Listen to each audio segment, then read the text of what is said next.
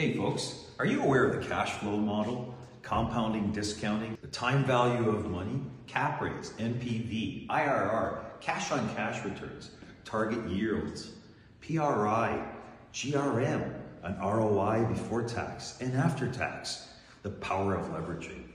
You know what, folks? If you want to get better at commercial real estate, sign up to our course. I'm CCIM designated and SIOR designated.